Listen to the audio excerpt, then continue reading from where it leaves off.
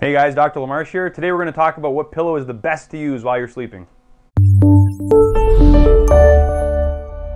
So I get asked frequently what the best position is to sleep in. A lot of people who come here have neck and back pain and feel that their sleeping position might be something that can be affecting that. And that is absolutely true. If you do have an underlying condition in your neck or your back, your sleeping posture can play a big role in making that worse.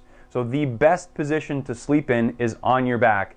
And uh, I can tell you that any position that you are in, you always want to make sure that your spine is as neutral as possible. So you want to try to take pressure off your neck, your shoulders, and your hips. And there are ways to do that. But like I said, the best position is on your back because there's the least amount of stress on different points of your spine. Now, when it comes to pillows, you always want to try to fill the gap. Meaning, if I'm a back sleeper, right, you look at me from the side, you shouldn't be really using a, a large pillow for that because there's not a big gap there. It should be a pretty thin pillow something like a cervical pillow, or you could place a small roll under your neck. Most people will typically put a bunch of fluffy pillows under the neck. It'll push their head forward and it'll create a lot of strain on their neck. Um, you know, either causing a neck problem or making a neck problem worse that they already have.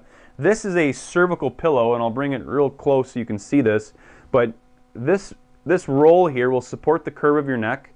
This allows your head to fall into, so your spine stays pretty neutral when you're in that sleeping position, which is exactly what you want. You also want to put something under your knees, so something just like a roll. Okay, this is a very soft pillow, but you put this under your knees and it helps support your lower spine, uh, so it keeps you neutral in that position.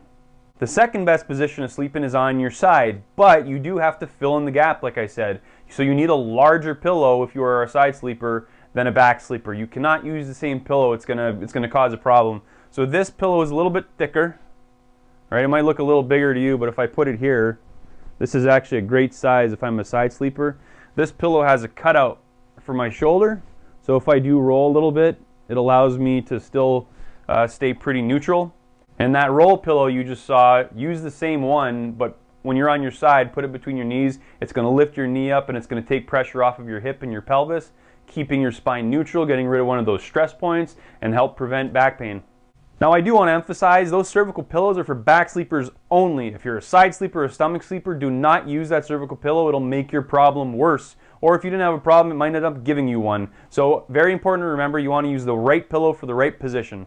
Now you might say you're not a back sleeper, side sleeper, stomach sleeper, you're all over the place. You're a rogue sleeper. So for people like you, you need something like this. This is a hybrid pillow.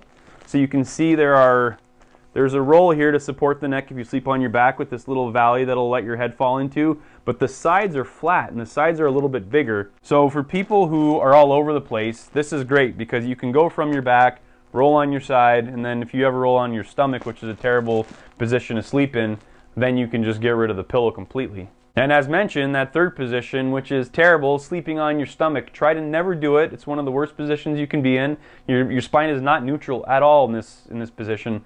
So not only are you sleeping with your head turned all night long, it's going to put a lot of strain on your neck, but your pelvis starts to sag into the mattress and it'll actually jam the joints of your lower back and your pelvis. So try to avoid that best you can. Um, and I know, I know sleeping, uh, sleeping behaviors is really difficult to change. You know, it's hard to go from being a stomach sleeper to a back sleeper, but you have to just try more and more every single day. Try changing your pillows, get a good quality pillow that's going to support you in that position, and you'll have much better luck. And over time, you'll be in a, a much better position at avoiding back and neck pain. So I hope you learned something from this video. If you know anybody with back or neck pain, please share this video with them because they might have no idea that a bad pillow could be contributing to their problem. Please remember to click that bell and subscribe and you can be notified with all the videos that we have promoting health. Thanks for watching. We'll talk to you guys later.